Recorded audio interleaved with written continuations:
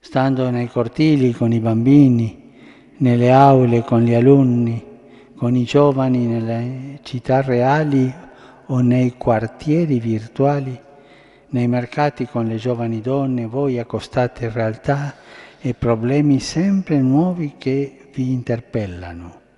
Siate per tutti missionari di speranza e di gioia, testimoniando i valori propri della vostra identità salesiana, specialmente la categoria dell'incontro, aspetto fondamentale del vostro carisma.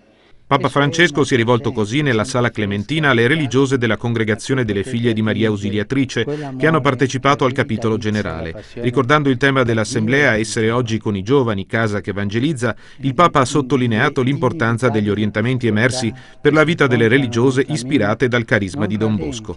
L'impegno a lasciarsi guidare dalla prospettiva di uscire verso le tante zone di confine geografiche ed esistenziali e la necessità di attuare percorsi di conversione pastorale, trasformando così le vostre nostre case in ambienti di evangelizzazione, dove soprattutto i giovani possano diventare essi stessi agenti di evangelizzazione per altri giovani.